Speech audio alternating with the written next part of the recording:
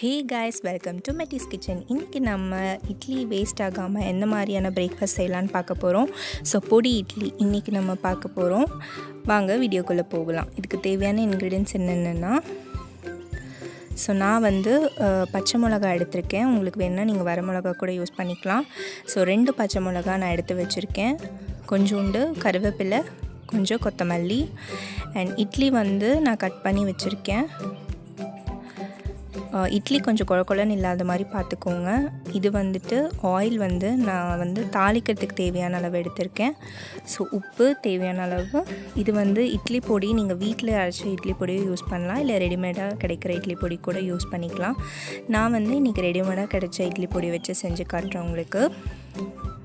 So onion வந்து ஒரு பெரிய ஆனியன் ஒரு கப் நான் வந்து பொடியாக கட் பண்ணி வச்சுருக்கேன். சின்ன வெங்காயம் போட்டாலும் சூப்பராக தான் இருக்கும் டேஸ்ட் நல்லாயிருக்கும் உங்களுக்கு வேணுன்றதை நீங்கள் யூஸ் பண்ணிக்கலாம். ஸோ நெக்ஸ்ட் வந்து கடுகு.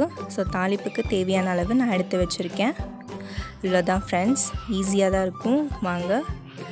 ஸோ நெக்ஸ்ட்டு லாஸ்ட்டாக வந்துட்டு பெருங்காயம் நான் யூஸ் பண்ண போகிறேன் ஸோ டேஸ்ட் நல்லாயிருக்கும் ஸோ கடாய் காஞ்சதும் அதில் வந்து ஒரு நாலு டீஸ்பூன் அளவுக்கு ஆயில் விட்டுக்கிறேன் நான்.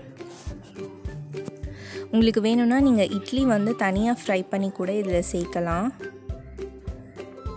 அது இன்னும் கொஞ்சம் டேஸ்ட்டாக கிறிஸ்பியாக இருக்கும். ஸோ உங்களுக்கு குழ குழன்னு இருக்கிறது பிடிக்காதுன்னா நீங்கள் அந்த மாதிரி கூட நீங்கள் பண்ணிக்கலாம். ஸோ ரெண்டு டேபிள் ஸ்பூன் அளவுக்கு கடுகு சேர்த்துக்கிறேன். ஸோ கடுகு காஞ்சதும் கருவேப்பிலை சேர்த்துக்கிறேன். ஸோ கருவேப்பிலை காஞ்சதுக்கப்புறமா வந்துட்டு பச்சை மிளகா ஆட் பண்ணிக்கிறேன் நான். வரமிளகா கூட ஆட் பண்ணிக்கலாம். நீங்கள் கீரி கூட போட்டுக்கலாம். அது உங்களோட விஷ் தான். ஸோ நெக்ஸ்ட் வந்து ஆனியன் நான் ஆட் பண்ணிக்கிறேன். காலையில் பிரேக்ஃபாஸ்ட் வந்து டிஃப்ரெண்ட்டாக செய்யணும் அப்படின்றத வந்துட்டு யோசிச்சுட்டு இருக்காமல் இந்த மாதிரி ஈஸியாக கூட டிஃப்ரெண்ட்டாக நீங்கள் வந்து செஞ்சு கொடுக்கலாம்.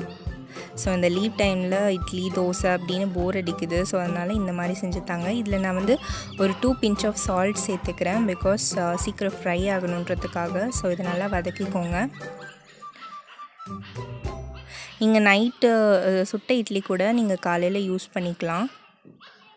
ஸோ நான் அந்த மாதிரி தான் நான் யூஸ் பண்ணிகிட்ருக்கேன். இது நேற்று நைட் நாங்கள் செஞ்சது. ஸோ மார்னிங் வந்து நான் இந்த மாதிரி இதுக்கு யூஸ் பண்ணிக்கிறேன். ஸோ இதில் கொஞ்சோண்டு ஒரு ஒரு சிட்டிகை இல்லைன்னா ரெண்டு சிட்டிகை அளவுக்கு நீங்கள் பெருங்காயம் சேர்த்துக்கோங்க.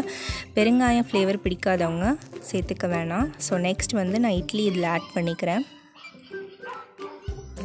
உங்களுக்கு இட்லி பொடி நல்லா ஆயிலே வந்து ஃப்ரை ஆகணும். உங்களுக்கு அந்த மசாலா ஃப்ளேவர் பிடிக்காதுன்னா ஃபஸ்ட்டு பொடி ஆட் பண்ணிட்டு நெக்ஸ்ட் இட்லி ஆட் பண்ணிக்கோங்க. ஃபஸ்ட்டு நான் வந்து எனக்கு வந்து இட்லி பொடினா ரொம்ப பிடிக்கும். ஸோ அதனால் நான் மேலே வந்து அதை சேர்த்துக்கிறேன்.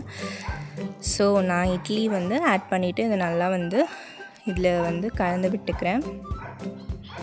ஸோ இதை நல்லா மிக்ஸ் பண்ணிக்கோங்க. நல்லா ஆயிலில் வந்து இது கோட்டிங் ஆகிடணும். அப்போ தான் அந்த இட்லி தூ- தூள் வந்து இதில் எல்லாத்துலேயும் உங்களுக்கு வந்து பிடிக்கும். ஸோ இதுக்கு தேவையான இட்லிக்கு தேவையான அளவுக்கு உப்பு வந்து சேர்த்துக்கோங்க. ஸோ நான் வந்து ரெண்டு பிஞ்ச் ஆஃப் சால்ட் அதாவது டூ டேபிள் ஸ்பூன் இது மொத்த டிஷ்ஷுக்கும் டூ டேபிள் ஸ்பூன் சால்ட் சேர்க்குறேன். ஸோ இப்போ வந்து இட்லி பொடி நான் ஆட் பண்ணிக்கிறேன்.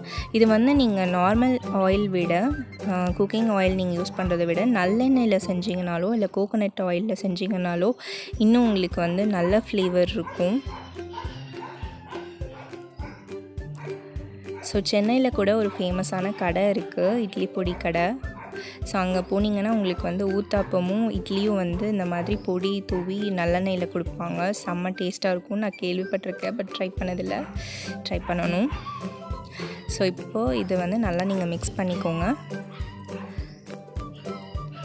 ஸோ இப்போ இது மேலே வந்துட்டு ச- கொத்தமல்லி தூவி சர்விங் பிளேட்டுக்கு ட்ரான்ஸ்ஃபர் பண்ணிக்கோங்க. ஸோ தட்ஸ் ஆல் ஃப்ரெண்ட் சுவையான டேஸ்டியான பொடி இட்லி தயாராகிடுச்சு இந்த வீடியோ உங்களுக்கு பிடிச்சிருந்தா லைக் பண்ணுங்கள் ஷேர் பண்ணுங்கள் சப்ஸ்கிரைப் பண்ணுங்கள் மறக்காமல் பெல் பட்டனை கிளிக் பண்ணுங்கள் ஸோ இதே மாதிரி உங்களுக்கு வந்துட்டு நிறைய குக்கிங் ரெசிபீஸ் தேவைன்னா கீழே கமெண்ட் செக்ஷனில் சொல்லுங்கள் கண்டிப்பாக நாங்கள் ட்ரை பண்ணுறோம் ஸோ நெக்ஸ்ட் வீடியோக்காக காத்துருங்க. தேங்க்ஸ் ஃபார் வாட்சிங்